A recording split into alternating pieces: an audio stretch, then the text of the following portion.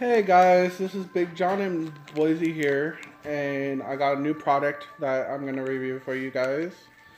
This product is from Snyder's Pretzels, and it's the Reese's Dipped Pretzels.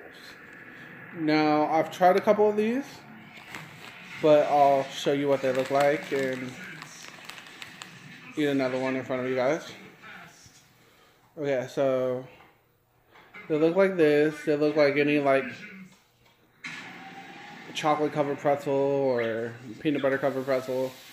Um, I see a lot of peanut butter on it, but not really a lot of chocolate.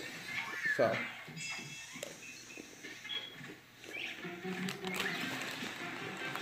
And it's nothing different than a chocolate covered or peanut butter covered pretzel. Don't taste nothing different. Nothing special. Nothing fancy. So I guess overall, because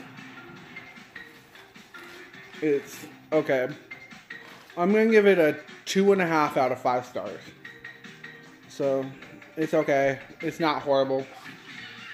I'm gonna fuck up the whole bag. So yeah if this is helpful to you, um, subscribe and like, and I'll be reviewing more products in the future. Thanks.